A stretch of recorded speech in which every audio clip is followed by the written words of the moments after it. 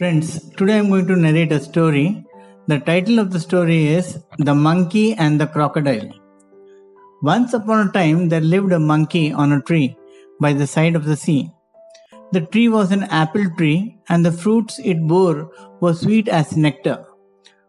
Once a crocodile swam ashore, and the monkey threw apples at him and asked him to taste them. The crocodile started coming every day ashore and eat the fruits thrown by the monkey, and soon they became good friends. The crocodile used to take some fruits to his home to his wife. His wife was greedy and asked him from where he got the nectar filled apples.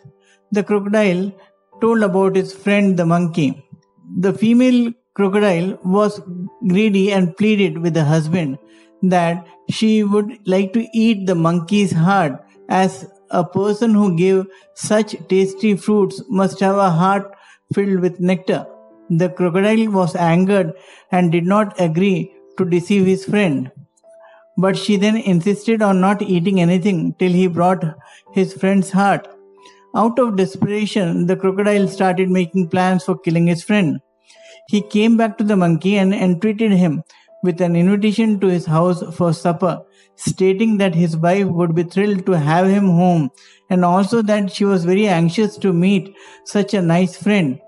Poor monkey believed the story but asked his friend as to how he could cross the sea to reach the house of the crocodile on the other side. The crocodile then offered him to carry on his back and the monkey agreed. In the middle of the sea, the crocodile took too deep into the ocean to kill the monkey. The monkey was frightened and asked the crocodile why he was doing this.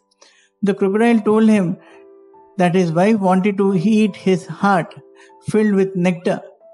The monkey immediately asked the crocodile to take him back to the tree as he told him that he had left his other heart, which was full of nectar, back at the tree.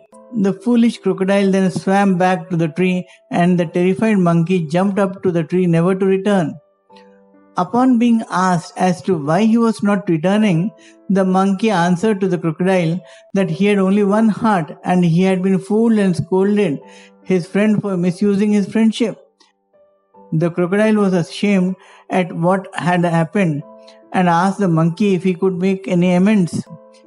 As he was also scared that his wife would not let him back in because he had returned without the monkey's heart.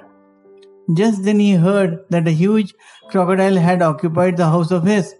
The monkey advised him to fight the crocodile and drive him out of his home and gain his wife's confidence. On his advice, the crocodile followed and he was back happy with his wife. The moral of the story is wit is superior to brute force.